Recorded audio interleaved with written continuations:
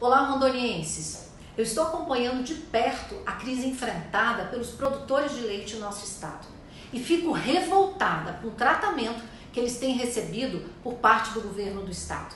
Rondônia hoje é o maior produtor de leite da região norte.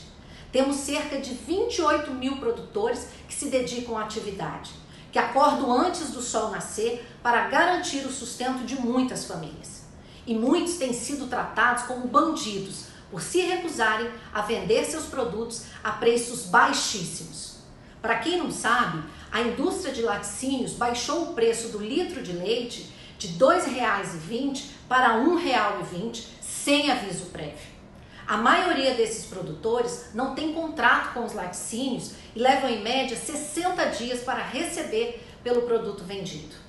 É inadmissível que grandes empresas alterem os valores sem ao menos informar os produtores para que eles tenham uma opção de escolha.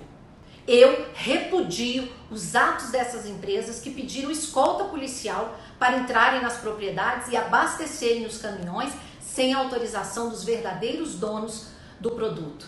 Senhor governador, senhor secretário de Agricultura, resolvam o problema. Os produtores não podem esperar. Existem várias formas de pressionar os laticínios para que respeitem os nossos produtores. Eu estou à disposição para contribuir com vocês.